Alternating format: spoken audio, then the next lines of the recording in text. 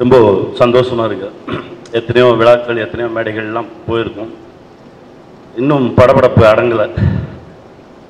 என்னடா சார் வந்து சம்பாதிப்பார்? அப்புறம் இந்த மாதிரி ஒரு படம் எடுப்பார்.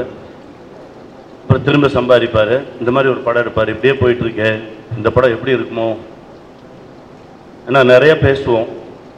ரொம்ப பதட்டமாக தான் உள்ளே வந்து உட்காந்துருந்தேன் ஒரு பத்து நிமிஷம்தான் சாரை பற்றின கவலை இருந்தது. அதுக்கப்புறம் எல்லாமே மறந்துடுச்சு இந்த படம் பெரிய பெரிய விருதுகளையும் தாண்டி நம்ம இழந்ததெல்லாம் மீட்டு கொடுக்கும் சார்.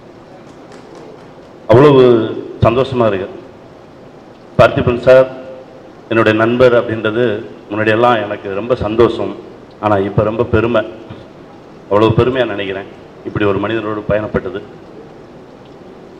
ஏன்னா சாரை பார்த்து தான் அப்பான்னு ஒரு படம் எடுக்க ஆசை வந்தது.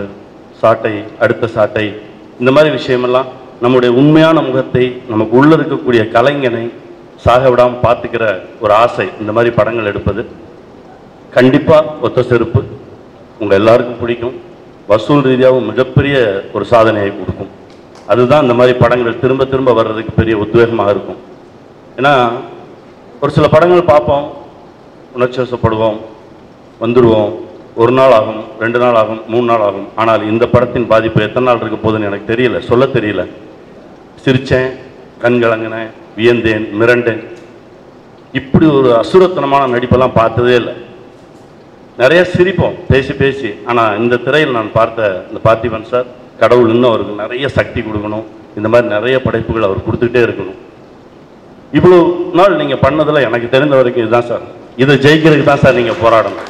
வாழ்த்துக்கள் சார். நல்லா இருக்கும் சார். இன்னும் நிறைய சாதிக்கணும் சார். நன்றி.